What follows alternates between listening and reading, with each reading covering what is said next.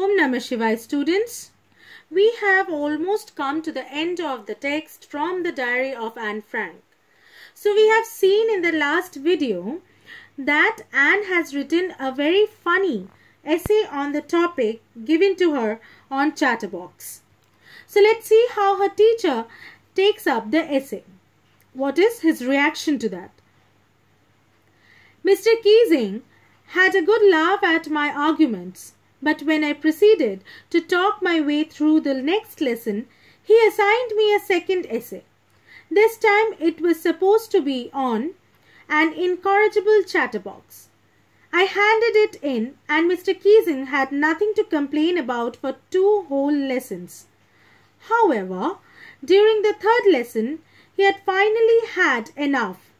Anne Frank, as punishment for talking in the class, write an essay entitled Quack, Quack, Quack, said Mistress Chatterbox. The professor found Anne's argument to be amusing, but when she did not stop talking in the next lesson also, he gave her yet another assignment as punishment. The topic was an incorrigible chatterbox. Incorrigible refers to a bad habit that is difficult to change.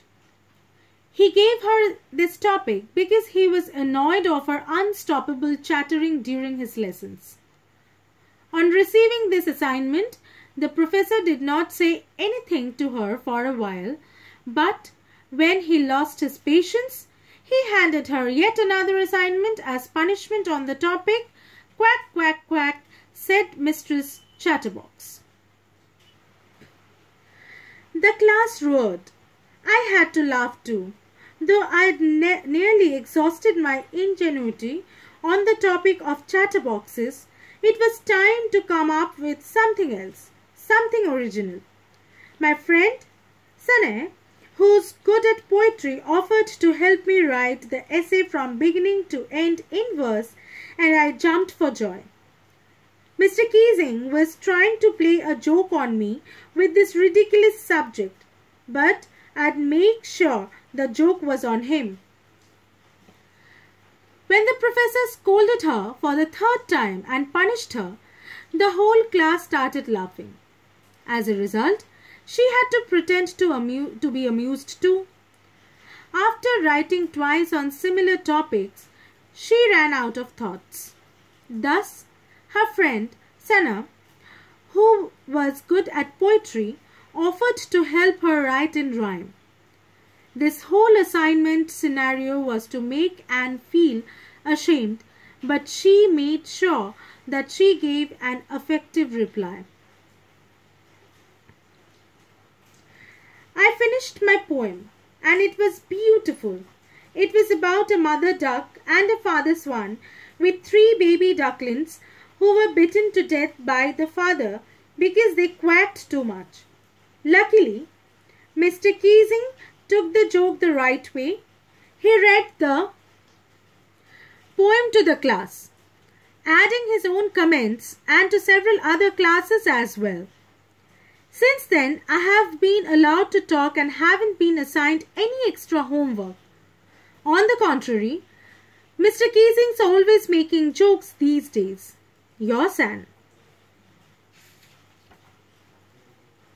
She finally wrote her third assignment in the form of a poem which turned out to be great. She wrote a satire that a father swan bit his three baby ducklings to death because of their nosy nature, noisy nature. To her good luck, the professor took it lightly. The professor recited the entire poem in front of the class while giving his own remarks simultaneously. The author, being fortunate enough, talked uninterruptedly after this incident without any further homework as punishment. Also, Mr. Keesing, the professor, started cracking jokes every now and then in front of the class. And here Anne finishes her diary entry for the day. So, here we complete one portion of her diary. I hope you have already liked how she has presented her diary and it has also taught you how to write a diary. It is just not jotting down a data but also adding on to your emotions, your day-to-day -day life things as well as your perspectives, the way you talk to your friend.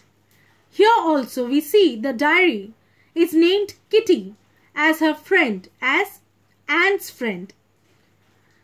So here we finish the entire chapter. In the next video, we will be discussing the question and answer and the main points from this text. Thank you. Om Namah Shivaya.